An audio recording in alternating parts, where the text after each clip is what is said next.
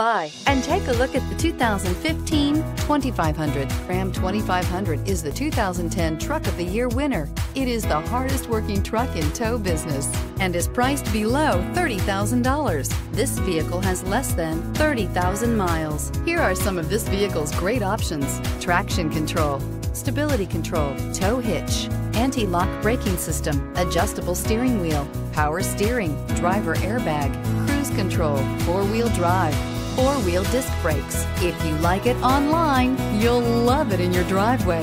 Take it for a spin today.